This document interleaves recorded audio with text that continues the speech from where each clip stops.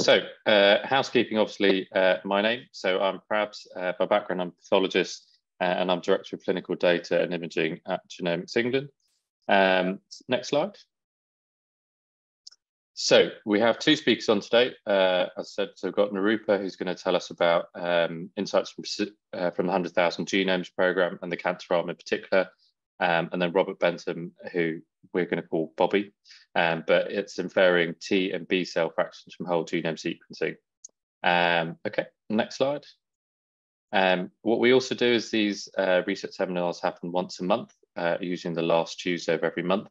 Um, and we have uh, a great session of speakers coming uh, next month, 25th of July. Um, and those are the list of people that are talking, and it'll be great if you can join us then as well. Okay, um, oh yeah, sorry, I've also got to tell you about GERS. So um, every year we try and do a research summit um, and we invite um, some guest speakers and we also invite uh, post presentations and abstracts. Um, and this year, this will be on the 19th September 2023 at the Business Design Centre in London. Uh, registration is free. Uh, and if you click the link there below, uh, you can follow the link to register. Uh, great to see some of you in, in person uh, and looking forward to hearing some of the great talks that you'll be seeing. Okay, next slide. Uh, and on to Nirupa. So um, Nirupa is a principal clinician for GEL. She's also clinical lead for Southeast GLH, uh, and she's also an oncologist by training. So Nirupa, the floor is yours, and thank you very much for doing this with us. Thank you, Prabs, um, and thank you for inviting me to speak. Um, so what I'd like to really uh, focus on today is to um, provide some insights from the cancer program, from the 100,000 Genomes Project, and really focusing in on solid cancers and how I suppose this has shaped um, the genomic medicine service and what we found from the analysis, especially um, when there's been the ability to link the genomic data to real world longitudinal data. So many of you will be aware of this, but just to recap, in terms of the 100,000 Genomes Project and how patients were recruited into the uh, cancer arm, patients were identified by their treating clinicians and then uh, consented into the project and um, samples were collected. So this would be fresh frozen um, tissue samples as well as blood uh, for germline analysis. And um, in, in the case of solid cancers, the DNA was then extracted and then sent for sequencing to Illumina as the sequencing partner. And then uh, there is an automated pipeline set up within Genomics England for variant calling and interpretation. And I suppose the thing that was also unique uh, from the project perspective is that despite being at this point a research endeavour, um, these results were sent back to clinical scientists for review at the Genomic Medicine Centre or um, Genomic uh, Lab Hub so that um, these results could be um, uh, reviewed and um, uh, looked at at genomic tumor advisory boards or molecular tumor boards to see if this would then influence patients' uh, care and management. And so um, this is an overview of uh, just under 14,000 uh, um, tumor types. So this is the breakdown of the different cancers that were sequenced. And we can see um, that um, there is a large proportion in the cohort of breast invasive carcinomas, colon ca uh, cancers, as well as rectal adenocarcinomas, sarcomas, lung adenocarcinomas, as well as squamous cell cancer. So this is just to give a breakdown by cancer type. And then also we can begin to see uh, recruitment across the different genomic medicine centres. And um, the, the size of the circle denote um, how many patients were recruited from the different centres that were involved in the project across England. And then we were able to link the genomic data with cancer registry data or registration data. So we can see uh, what the stage of the cancer was. And we, we see here that the majority of cancers denoted in the dark pink uh, was in fact stage one and then stage two. And this is because, um, and only a small subset in the light pink were in fact stage four cancers. And this is because um, the large proportion, um, at the especially at the outset of the project, were from resection samples um, in order to ensure that there would be adequate DNA for whole genome sequencing. Then going forwards, then there are more, as you can see in green, biopsy samples that were shown to be feasible. And this is important because it's also clinically relevant. And so there are a, a small, albeit smaller proportion of cancers which had uh, uh, sequencing from biopsies. And then on the far right um, is the tumour purity, the median tumour purity as it was calculated. And the important point um, that I would like you to take away here is that the pipeline or the sequencing was at 100 fold coverage. And um, this is important, especially in certain cancer types, such as lung adenocarcinoma and pancreatic adenocarcinoma, where the median tumor purity can be a lot lower. And therefore, for accurate or sensitive calling, you know, the coverage is important. And I suppose, therefore, the 100,000 Genomes Project laid the foundations for the genomic NHS genomic medicine um, service. And what we um, know is that um, as a result of this, this has then developed the National Test Directory. And this can be Googled, you can look this up and you can um, look at um, what are the essential tests that should be undertaken for each tumour type based on uh, NICE approved therapy or for prognosis um, in different cancer types. And this is delivered um, at the moment through the seven genomic lab hubs in England. So these are the different regions so that there is standardized and the aim is for equitable access for testing across each region. And this also aligns with the NHS long term plan and accelerating and embedding genomics into the NHS. So I'm just going to quickly recap how, you know, this on this roadmap of how the um, NHS genomic services working, and, and it's you know similar to the journey that I previously described. We have the test directory, which stipulates the essential tests that should be undertaken. This is delivered through seven genomic lab hubs. There are standardized pipelines for variant calling, and where required, cases are reviewed, clinical recommendations are made um, through genomic tumor advisory boards and fed back to treating clinicians. And so due to the development of and the um, uh, of the national test directory we were then able to undertake an analysis uh, looking at the 13,800 plus tumors and how they mapped to the test directory. So what I'm showing here is the total, this is for, again, I stress for solid cancers, the total percentage of tumours with one or more mutations in a target gene as listed in the test directory. And you can see that um, both glioblastoma, low-grade glioma have a large proportion of tumours which are clinically relevant and should be undertaken as testing as part of standard of care. This is the standard of care is indicated in pink. When we start to look at the types of mutations in more detail, this is quite interesting because we can see that um, this is now looking at SNV indel, so small variants, and this is um, by order here, um, uh, the proportion of or percentage of tumours that have some uh, a, small variant of clinical uh, relevance. And what is interesting is that if an example here is PIK3CA, so are highlighted now in this red box, vertical box. The indication for testing is in metastatic um, ER positive uh, breast invasive cancers. But we see that PIK3CA is a commonly mutated oncogene, and many of you will be aware of this. But so why this is uh, maybe relevant is that in blue is the, the proportion or percentage of tumours that are have harbour this mutation. And therefore, this may be relevant in terms of potential clinical trials, compassionate early access, or um, and especially trials such as Determine, which are these basket trials that have that is now opened within the UK. So this is the blue really highlights things that aren't in the test directory but may potentially be actionable. And then we look at um, copy number changes. So in the next box, vertical boxes, and also fusions. And what we begin to see is that glioblastoma have a large number of copy number aberrations that are clinically relevant. And this may indicate why glioblastoma actually is now within the uh, test directory and is commissioned for whole genome sequencing.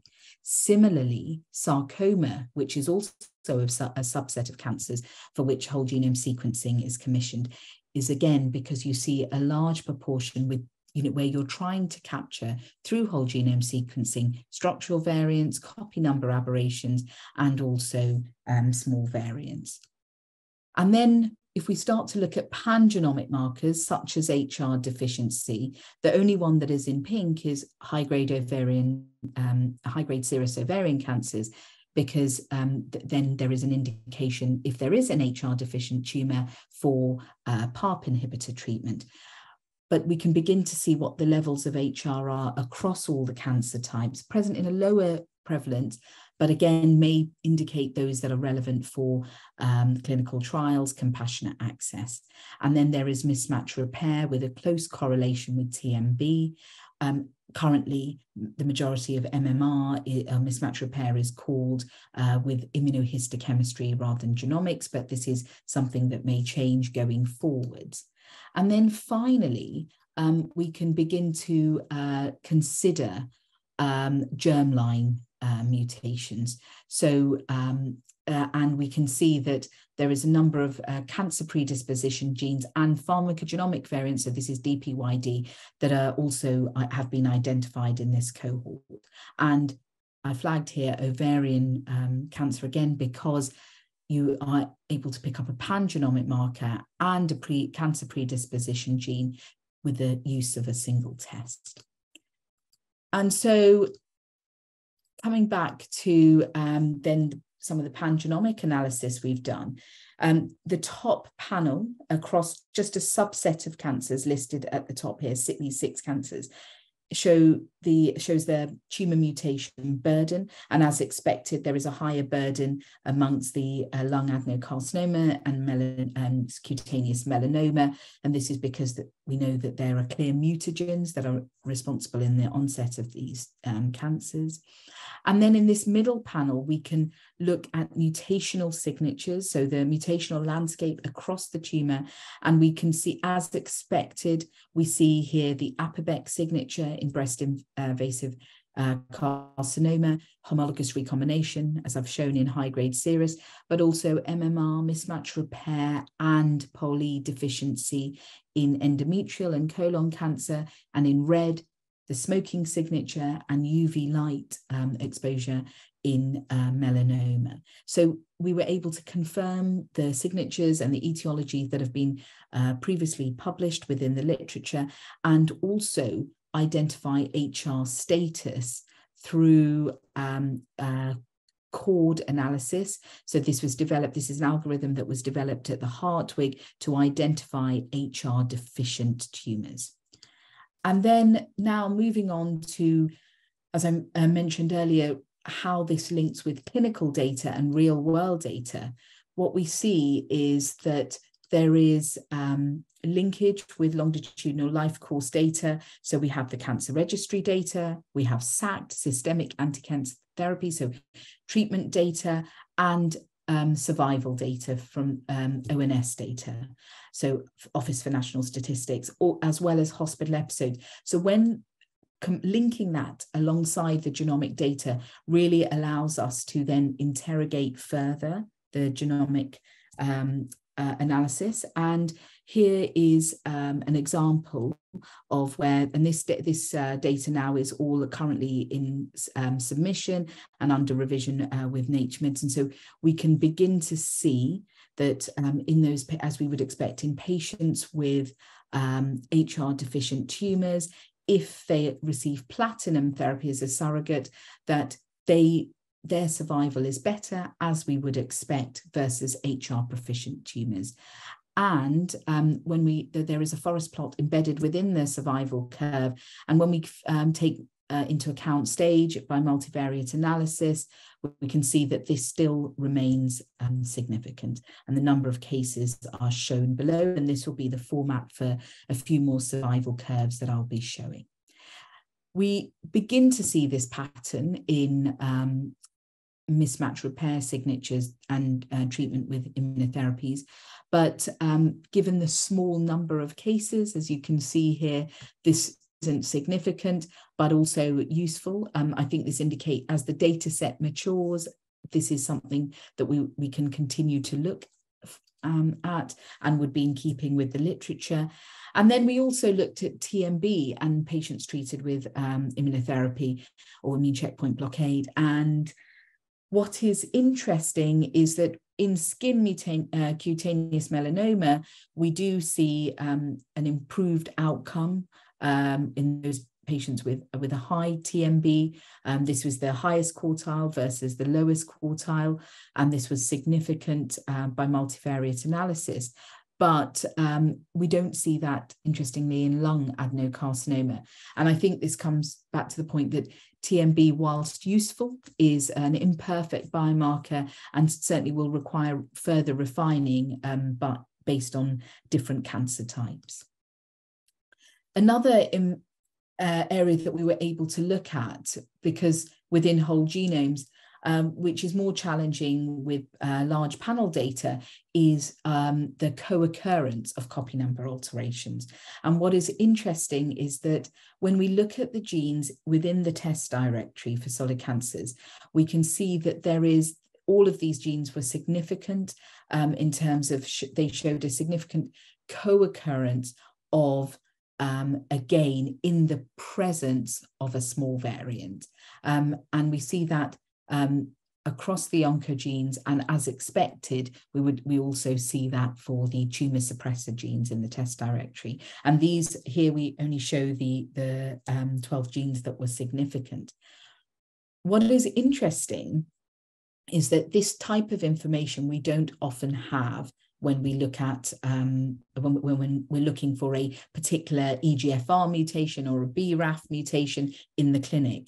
And this is important because it may also potentially um, indicate those patients, if they also have a, gain, a co-occurrence, maybe these are the patients that are more likely um, to respond to a particular targeted therapy. So this is an area that obviously requires more um, work.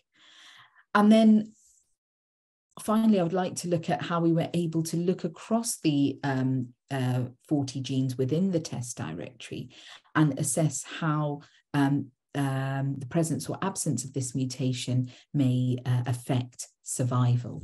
And here I'm showing uh, examples of genes um, unex- you know, which we are not surprising. These are well-known characterized uh, cancer genes, where there is um, here worse survival in the presence of a BRAF mutation, in presence or loss of CDKN2A, um, and also with KRAS. Interestingly, and this is um, a, is uh, in uh, agreement with the published literature, in tumors that harbored a PIK3CA mutation, they had improved um, survival outcome. And we also see this in P53, the most commonly mutated um, gene across the entire cohort. So um, really what this is beginning to do is we can begin to look now at real world data, survival data alongside this genomic data. And going forwards, there's the real ability to further refine the co-occurrence of mutations and examine this in much more detail to really advance and refine precision oncology.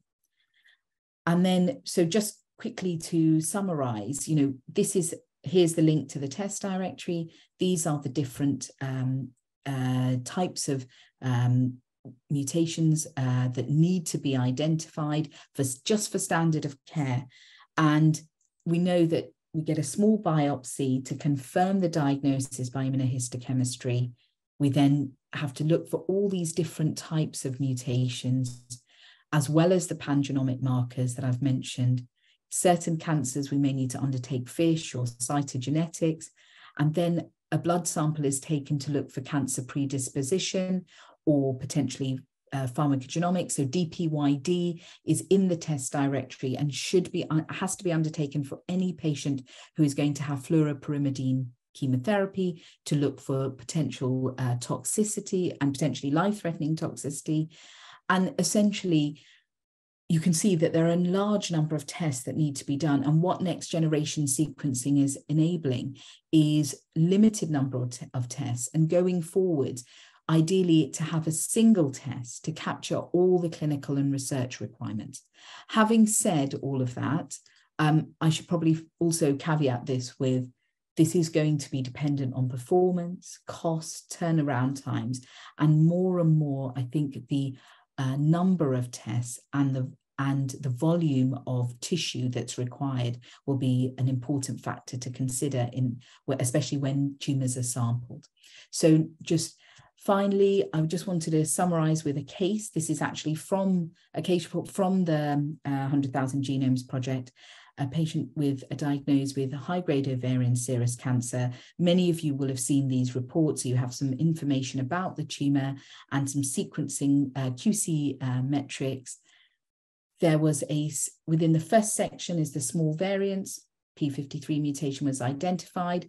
This is in keeping with the diagnosis of high-grade serous ovarian cancer. So many of my oncology colleagues are used to looking at base pair changes that we, we can identify. But as I've said, we can also then come on to look at changes at the gene level. So here there was loss of the BRCA1 gene. And then when we looked at mutational signatures, there was HR deficiency, homologous recombination deficiency.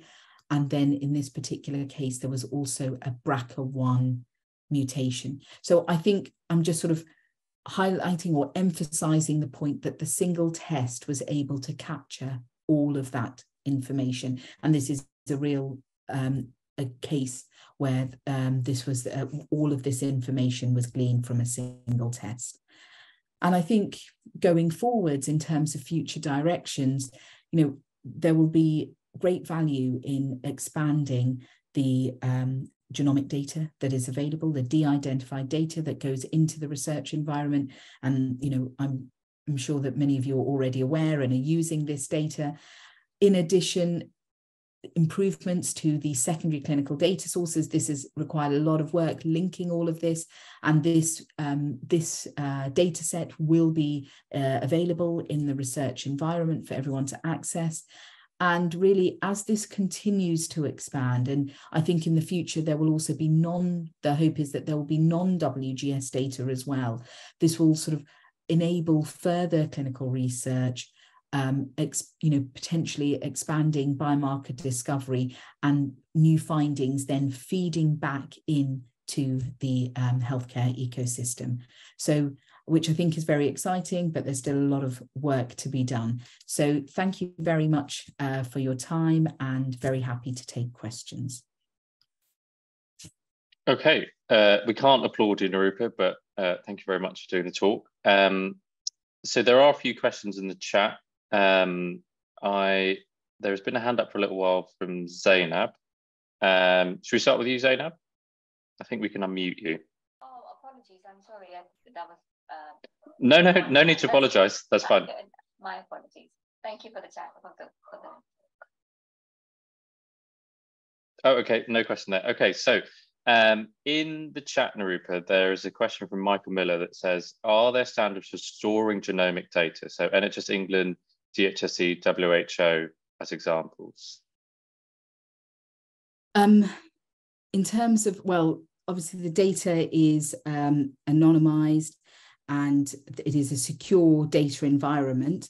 Um, actually, I'm rather than me, Prabs is probably better yeah. placed to answer that question, Michael. He's far more aware of all the technical requirements, but obviously uh, there is an, um, a large amount of um, work that has gone into ensuring that this is a secure uh, data environment. Prabs, I don't know if you want to expand on my quite high level answer. no, no, it's fine. So my the, the main issue is from a research perspective is that genomic data is labeled as sensitive data, but the attached PIDs, so NHS numbers, names that we will uh, ingest, that has to be kept separate. And the important bit there from a governance point of view is that uh, we swap out um, those NHS numbers for what we call a GEL ID or genomics England identifier. It's like a clinical trial identifier we allocate to each participant. Um, and that is stored in a secure data server. Uh, and so researchers can only interrogate in the research environment the data set and create their cohorts and run their queries based on effectively a pseudo-anonymized data set.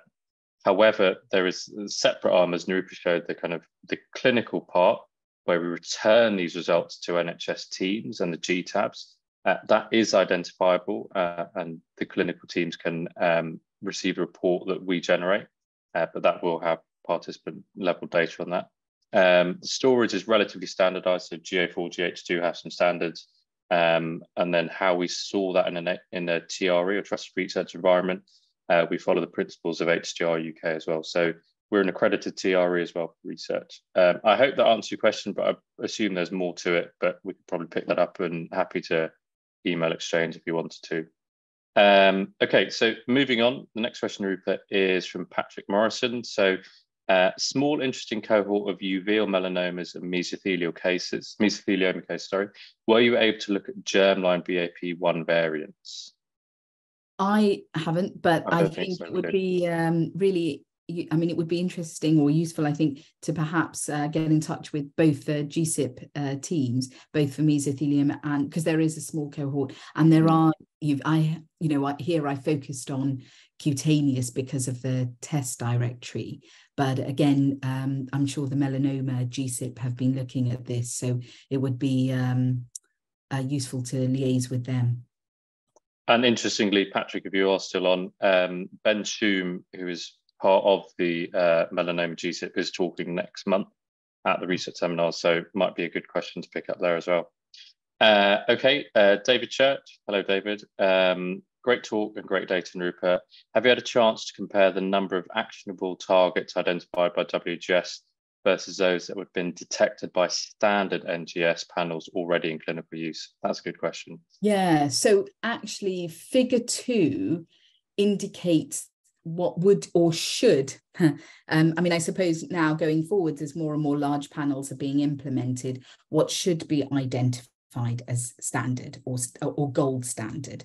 And i think the point that i you know wanted to i hope emphasize is that you can see why there is the rationale for a certain sub certain subtypes of cancers but not all cancers because if you're looking at predominantly small variants then as in melanoma, for instance, you could argue um, that that can all be captured for standard of care via large panels.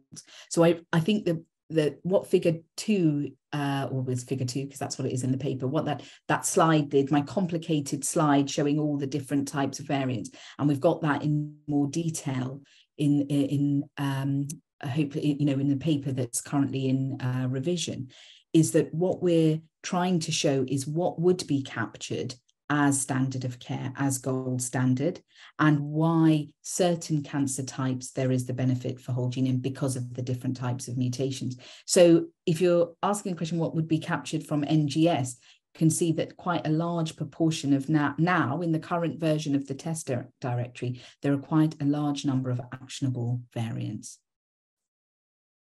Okay, cool. Uh, I hope that answers your question, David. Um, we're probably halfway through, um, so if that's okay, um, if there are any further questions, Rupa, please put them in chat, um, and you can stay on for a little bit as well. Is that right, Rupa? Yeah, that's that's fine. Fine. Okay. Awesome.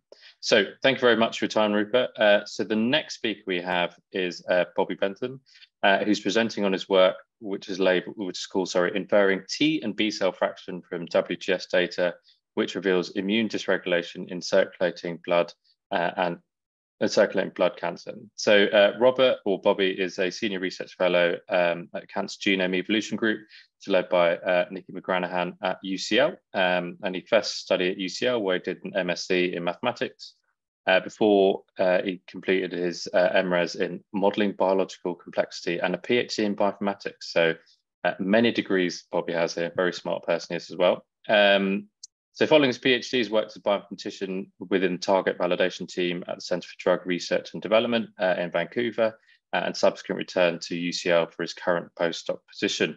uh, where he's focused on building bioinformatic tools to elucidate the role the immune system plays in sculpting tumor evolution.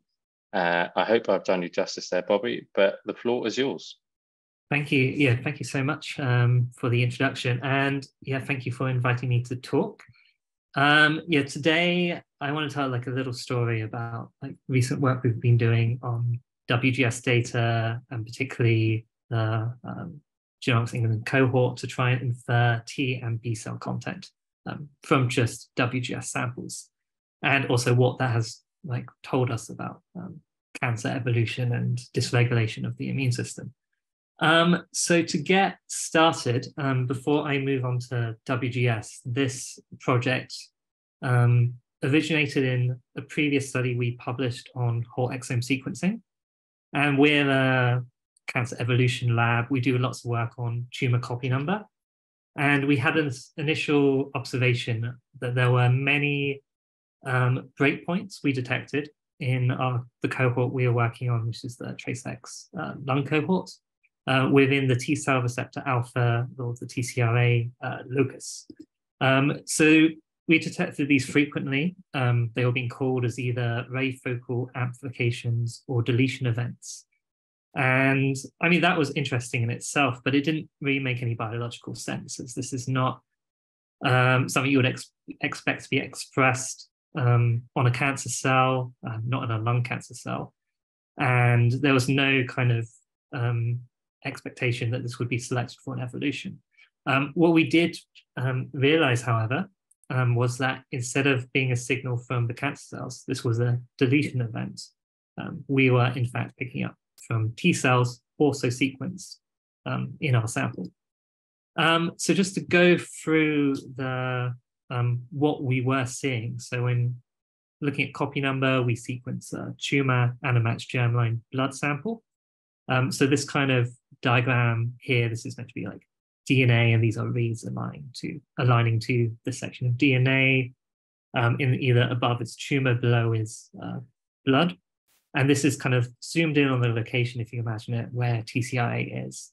And during VDJ recombination, where it's effectively a deletion event within T cells, we're getting fewer reads aligning to that locus. So if you have um, more T cells in your the matched germline blood sample than the tumor. Um, we were reading this as a, a kind of a gain event um, in our tumor sample, which of course was incorrect. Um, but when we looked at this uh, read depth ratio on this local and whole exome sequencing data, we saw a very clear signal that aligned exactly to where the V and J segments were. So it's, it's really clear um, VDJ recombination.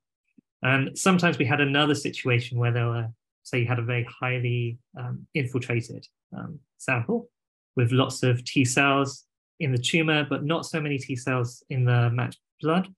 We would interpret this as a loss event.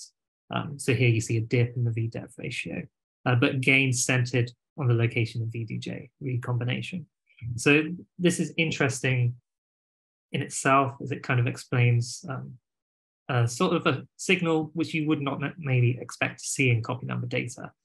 Um, but what we decided to do at this point um, was to develop a tool um, to turn the signal into kind of a measure of T cell content within a whole exome sequencing sample. So we did a lot of work on this. Um, I'm not going to talk too much about it, but it's uh, been published a few years ago now. And interestingly, it was like we found it was very predictive of CPI response and really useful um, in data sets um, without any orthogonal immune data. Um, so you can maybe see where this is leading to. There's a particular WGS data set we all are familiar with, which does not have any orthogonal immune data. Um, so this was published, available to researchers on GitHub. And as I've also been working on Genomics England as part of the lung and pan cancer GeCIPs, we were interested in adapting this method for WGS. And that is what we have been doing, like a forward one. So we now have a new tool for WGS called immune lymphocyte estimation from nucleotide sequencing or ImmuneLENS. And what it in effect does is the same concept of the whole exome sequencing data, um, but we've applied it not just to TCRA, but all three uh, T cell receptor loci, uh, beta and gamma as well, and also IGH for B cell content. And the power of WGS is, um, if I just go back for an instance, you'll see with whole exome, there's lots of gaps in coverage, and this is very dependent on exome capture kit. Some capture kits you have more coverage in the TCRA locus than other. Um, WGS data, as long as um, the reference sequence is good and we can align reads, we have even coverage throughout the, the loci. And because of this even coverage, we could fit a much more sophisticated model to estimate T and B cell content. Um, so we made the model um, kind of match up to where we knew the breakpoints would be. So we knew after each uh, V segment, there might be a dip in coverage. So we were testing basically to see if there was a dip in coverage. From this, not only did we get T cell fraction estimation, um, but also um, V and J segment proportions. And importantly for IGH B cell, there's a second deletion event um, called class switching, um, which we can estimate the fraction of um, to try and get a say proportion of the IgG or IgA uh, producing B cells. And in addition to all this, as well as um, from the segment data, we've also been looking at um, how how well can we actually tell um, what the TCR diversity, like if we look at the repertoire of these samples, like how much information can we get from this from the V and J segment predictions? Um, so that's a very quick overview of the method. Um, now I'm just going to talk about the validation work um, we've done as, of course, like deriving any bioinformatics method, you want in detail validation, make sure it's works and to do this, we use the TRACERx100 dataset, uh, which we're very lucky to work with. And that has um, extensive matched data for not just whole genome sequencing, it's mainly whole exome. It's also got RNA-seq and some TCR-seq data, which has been very useful in um, testing this tool. And as you can see, the WGS version can do a lot more than our previous um, whole exome version. Um, so let's just go through a few kind of results to make you believe it works. So this is comparing the WGS versus the whole exome sequencing scores for TCRA T cell fraction in either the blood or tumor samples from TRACERx. There's a strong correlation, which is good, but what's important to note is we have much more sensitivity um, to detect lower T cell fractions. So before there was a bias in the whole exome sequencing version, where if it's very low, it would often get round to zero because of uh, noise in the data. Um, this isn't so much an issue in WGS. We're much more um, confident that we can measure low T cell content in these samples. Um, why are we so confident? Well, one of the reasons is that we get a very clear correlation from RNA-seq uh, gene set signatures um, for T cells. So this is from a, a gene set from this paper um, by Danaher a few years ago for uh, T cells. Um, this is a stronger correlation than we saw in whole exome sequencing for that version of the score. So this is clearly a signal of T cell content um, within a WGS sample. Um, apart from TCRA, if say if something's happened in the tumor sample on the chromosome 14, where TCRA is, is it's a chromothripsis event, it could be very hard to get a score out of that tumor sample. Um, but luckily, we now have two additional new scores um, on chromosome 7, different genomic locations from TCRB and TCR gamma. And yeah, this these also correlate strongly with uh, RNA-seq scores. So we have three scores we trust that are related to T cell content. Um, and of course, I mentioned we now also have B cell fraction. So this is quite a nice example from the TRACERx 100 cohort. So this is kind of one of the outputs um, of this method of the uh, log V depth ratio. Different colors indicate different predicted uh, V or J segments. On the right is the VDJ deletion event. Um, on the left is the class switching um, deletion event. So this is a sample with like a high proportion of B cells are in fact class switched, um, over 80%, uh, mostly predicted to be IgA uh, B cells. And this is also a highly uh, B cell infiltrated case of almost a quarter um, well, 0.25 uh, fraction is, is predicted to be B cells. And finally, or not quite finally, on the validation, we can look at uh, diversity. So this is kind of just a cartoon of what could be possible in the future. But this is the standard output from the model. Um, of this is like different um, TCRA V segments that are used size due to proportion. So you can create these kind of visualizations. Um, also, you can do the same thing for B cells, and there from there you could uh, you can calculate um, more like detailed TCR diversity metrics, which we are currently still testing. Um, this raises the question, how good is our V and J segment prediction? Um, we're very confident in the T cell fraction is accurate and the B cell fraction is accurate. Um, but the one of the limitations of this method is it is not trying to reproduce uh, TCR-seq data. Um, we can't have the ability to like sequence uh, tens of thousands of uh, CDR3 sequences. Um, we're working with WGS data at particular depth, and it's a prediction. Um, so this plot um, shows match data from TRACERx of uh, TCR-seq, and the V segments are divided into quartiles based on their proportion. And on the y-axis, we have the segment proportion that's estimated from our model. Um, good news, the higher proportion segments are on average uh, predicted at higher value. Uh, bad news, the median for all four groups is zero. Um, so we're still um, really underestimating the diversity of T cells from this method.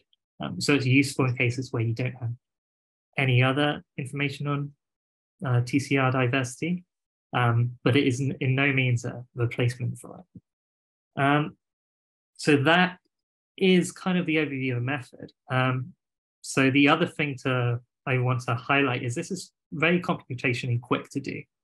Um, it's very easy to apply on any WGS sample. It can be run independently on germline blood or a tumor uh, sample. And we've applied this to the 100,000 uh, genome project on Genomics England. And from this, we have this um, suddenly this immune landscape um, of both tumor infiltrating and circulating T and B cells. So this is kind of just the overview plot for the cohort we have um, for T cells. It's ordered by the median fraction we see in circulating blood. And it's, it's a very large cohort as that we suddenly have over 15,000 participants. Most of these do have matched blood control. This is not um, universal across the entire cohort. And we also have, which isn't shown on this graph, a normal cohort um, composed of uh, blood samples from rare disease relatives, which we can use as kind of a comparison to the uh, circulating blood scores we have in the cancer patients. Um, and I would say the, there is some orthogonal immune data for a subset of rare disease participants that have blood count data, which I will be talking about in a second. Um, here's a similar graph. Uh, this is the landscape of infiltrating and circulating B cell uh, content we see in the genomics England cohort. Um, in this one, we've kind of a group of these pie charts so they highlight the class switching we see in the different um, cancer types. And also, I think one thing, and the size of the pie or the chart is proportional to the median value we see in that cohort. So we see fewer B cells in circulating blood than we do in tumor infiltrating um, which is the opposite of what we see for T cells, where T cell counts is typically higher in the blood. Um, so I just mentioned that we have some date matched uh, WGS uh, blood count data from the 100,000 genome project for a subset of the rare disease cohort. So these are uh, participants who on the date um, they had the WGS sample collection, also had blood count data, um, which we can match up. It's not a large number, but it was enough to do like another uh, kind of orthogonal validation on Genomics England. And I think what we were um, interested in here is we didn't have any blood count data in TRACERx, because we saw a strong correlation with lymphocyte count, which is what uh, we expected to see. We also saw strong negative correlation with neutrophil counts. Um, so the more neutrophils um, in circulating blood, um, when you take that for WGS sequencing, the fewer um, T or lymphocytes or T cells will also um, get sequenced. And what this means is the measure we are actually calculating, uh, T cell fraction in blood, is strongly correlated like rho of 0.82 with the neutrophil lymphocyte ratio, which is a very well established um, biomarker for uh, prognosis in many, many different conditions. Um, yeah, so um, that's kind of been a quick introduction to the cohort we have. And now I just want to say like one bit of analysis we have done on this cohort to kind of try to show its powers. Like there's been lots of pan-cancer immune landscape in terms of infiltrating T cells. Uh, we thought there's kind of a gap in people who've looked at circulating T cells in such a, a large cohort. So we were, we were interested in this and we used this uh, normal cohort um, from their disease relatives as kind of a comparison to what is going on in the cancer participants. And the most striking thing we saw was that um, in the cancer uh, participants, there was a large sexual dimorphism where males had lower T cell fraction um, in circulating blood than females. Um, you might also notice that the levels in both females and males are lower than what you would see in the normal cohort. And this um, possibly is linked to like neutrophil count uh, levels, um, though we're not entirely sure. And we can divide this up by cancer type and the effect of circulating TCI T cell fraction. So this is uh, showing the uh, Wilcoxon um, effect size is significant across multiple different um, cancer types. Um, and also this effect between cancer and normals um, when we also propensity match for both age and sex. So there's um, comparable as possible, seems much more uh, universal across all cancer types, with only a few, such as I think you can see uh, the effect isn't very strong in, say, like prostate adenocarcinoma, um, and it's very strong in glioblastoma. Um, interestingly, in infiltrating T cell fraction, we don't really see this effect, um, with the one notable um, exception of uh, lung adenocarcinoma, um, which was interesting to us because we're very much focused on lung cancer. And um, as a side note, we actually visually spotted this effect on our whole exome sequencing data in lung and just assumed it was universal, which um, turned out not to be the case at all. Um, yeah, and finally, just as a final thing that we want to show with this data set, we want to see, we want to ask how does um, this link to survival outcomes, which are available on Genomics England. Um, so these are Kaplan-Meier curves showing five-year survival um, divided by um, high and low uh, T or B cell uh, fraction groups based on the median value across the entire cohort. And what we were expecting to see here was like highly significant or high significance for infiltrating T cells. Um, as intuitively we thought, okay, these are the T cells that are um, able to recognize neoantigens and kill cancer cells. But what we saw the most strong association was actually circulating T cells um, in the blood, in and also a similar um, trend in B cells. Um, this was initially surprising for us. Perhaps it shouldn't have been so surprising when you think of general inflammation, which this is uh, likely a signal of, which is known to be prognostic. And um, if you're familiar with the literature, neutrophil lymphocyte ratio is also known to be prognostic of survival. Um, but what's what we found really interesting, this is using the same bioinformatic method, the same technique. And it shows that using the same WGS kind of data, we find a stronger effect in the blood than infiltrating T cells. And as a little, I guess the next bit, as a little extra, we divided the B cells into whether or not they were class switch or not. And we only found significance for the B cells in the non-class switch, uh, either IgM, D, uh, B cell fraction. Um, we're we have we're not quite sure what is going on here, but for whatever reason, naive B cells seem to be a stronger predictor um, or strongly associated with prognosis and survival outcomes. Um, we've also um, done this analysis more in a more sophisticated way with uh, Cox proportional hazard models uh, to control for like confounding effects of age, sex, stage, um, as ancestry, and whether or not they received chemotherapy pre uh, surgery and sample collection because um, as you can imagine, chemotherapy has an effect on um, the immune count you then measure. Um, and, but what we do find on the top um, row is that circulating T cell fraction is associated with survival across multiple um, cancer types. And what we then did was we divided um, the cohort into different groups, either low and high TMB or males and females. and we can see some like striking effects. I just want to highlight a few things. So I already told you about the sexual dimorphism in circulating T cells.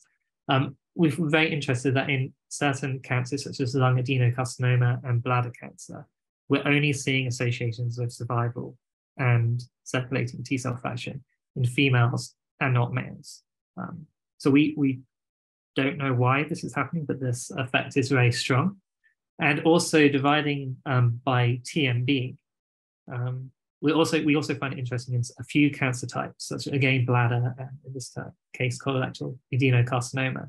Uh, the circulating blood cell fraction is only like highly associated with survival um, in the high TMB group, um, which makes us wonder is maybe this isn't just a signal of general inflammation. Um, we're wondering is are these T cells actually able to recognize neoantigens and uh, stop the spread of cancer, which is a hypothesis we are um, thinking about, although right now we do not have um, more evidence to investigate that.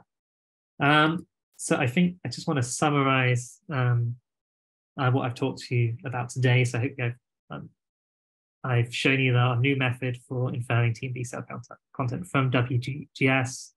Um, hopefully I've shown like or demonstrated that you trust this from our validation work. And hopefully you think that this could be very useful um, for your own analysis on Genomics England. Um, we do have a paper in submission currently, but we want to make these T and B cell um, fractions available on the research environment to all gel users. And uh, we think we think there's a lot of interesting biology there, more than I could talk about today, and much more than like we've done so far. And we just hope this will be a very good research or resource for all of Genomics England. And just want to end on my acknowledgements. Uh, everyone in uh, my group has helped me, as well as the, the Glenn and Swanton Labs, and of course the Genomics England and TRACERx Consortium, and all patients and their families. Thank you. Okay, Bobby, thank you very much for that. Um, applause if anyone in the audience would like to as well. But um, if it's okay, if you want to put questions in chat, feel free or raise your hands. Um, do you mind if I just kind of go back a step, Bobby, to your uh, yeah. Uh, no, actually, to your 2001 Nature paper. So at the end of it, yeah. you raised some interesting points. Mm. So it's unrelated to cancer technically, but the distinction from your W WES with uh, kind of cancer reactive T cells and bystander T cells. Do you think mm. you've got a clear answer about the WGS? And the yeah. second question, and mm. the second question, which is completely unrelated to cancer, but is related to newborns, is you also suggested that uh, from the WES data, you think that it might be a useful screening tool for uh, combined mm. immunodeficiency disease in newborns. So GEL is also kind of launching a newborn screening mm. program. So it'd be interesting to hear your thoughts on how you think that's also an evolution as well. Yeah, um, for the bystander question, that's a very interesting point. We've not um, it's difficult to do with just T cell fraction as it is. You kind of need to know maybe like the CDR3 um, sequences to kind of like, if it's like clearly binding to like a viral epitope. Um, so I, I, think it's it's hard to know um, currently. I think there's a few cases where maybe there's low TMB, high T cell fraction. You can have, ask questions. Okay, maybe these are um, majority bystanders. Um, but right now, the method I think isn't quite well prepared to answer the question between um, bystander and um, non-bystander. I mean, we want one thing we wanted to look at is expansion of a particular phenotype, which we think we might be able to get from the TCR diversity metrics, um, but that is still um, very much a work in progress. Um, for the newborn screening, um, I agree. Uh, we haven't done much work on that yet. So that's more like a hypothesis still that we think it could be useful, but yeah, it's okay. It's still yet to do. I'm not sure if um, there's any cases on the rare disease um, cohort we could even test that out on. But it's it's definitely interesting. Very interesting. Yeah. Okay. Cool. Um, are there any questions in the chat or any hands up? Let's have a look. Uh, no. Okay. Um, if that is the case, I might give everyone a couple of minutes back of their time. Um, so to Nirupa and to Bobby, thank you very much for joining us today and for your presentations. Um, San and Sam from the research management team, thank you for hosting and arranging this as well. Uh, and for everyone who's joined us online, thank you all for joining us. And uh, one last reminder, if you can join us in person at the uh, GERS Research Summit in September, please do. Uh, I'm sure Zan and Sam can share you details about how to join uh, and hope to see you all there. Thank you all very much uh, and enjoy your two minutes of peace in, in advance. See you all later.